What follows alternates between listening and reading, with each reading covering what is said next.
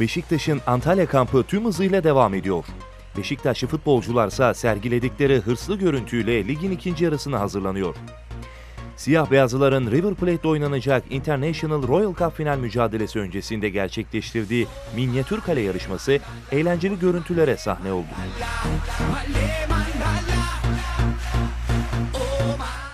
İki ekip ayrılan takımda yeşil yelekli ekiple turuncu yelekli ekip kıyasıya mücadele etti.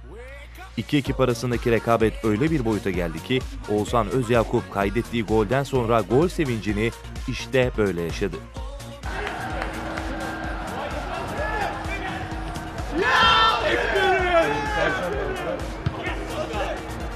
Kıyasaya geçen mücadeleyi yeni transfer Aleksandr Milosevic'in de yer aldığı yeşil yelekli ekip kazandı.